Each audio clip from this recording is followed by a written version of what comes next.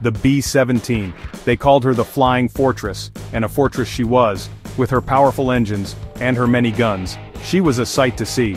The Boeing B-17 Flying Fortress was a bomber plane, used by the United States Army Air Forces, in World War II. She was known for her toughness. The B-17 could take a lot of damage, and still keep flying. Her crews loved her. They called her names like Memphis Belle, and 909. The B-17 flew thousands of missions, against Germany. She dropped tons of bombs, on enemy targets, factories, bridges, and airfields. The B-17 was a marvel of engineering.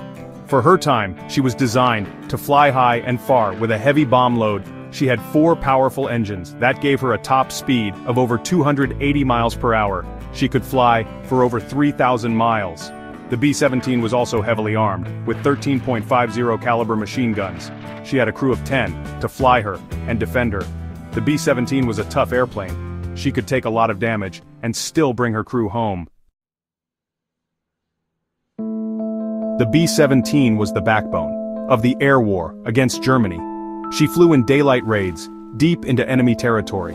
The B-17S faced many dangers, German fighter planes, anti-aircraft fire, and bad weather.